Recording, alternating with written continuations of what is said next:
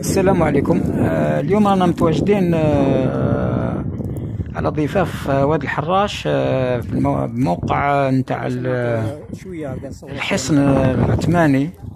وهنا نشا- نشاهد جزء من آه، التهيئة نتاع ضفاف الواد من جانبين.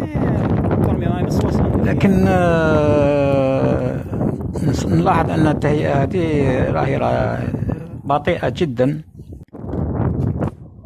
وهنا نشاهد كذلك وضع الأعمدة الكهربائية على طرف ال- ال- طريق هذا الممر. ونشاهد في الأفق هنا الجسر المؤدي إلى جامع الجزائر.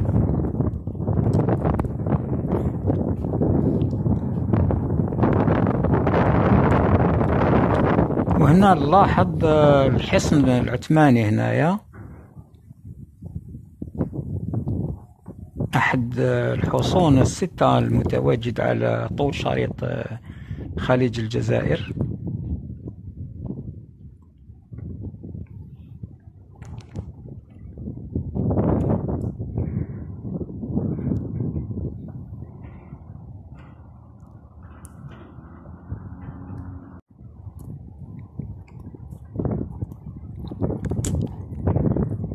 هذا هو الحصن هنايا.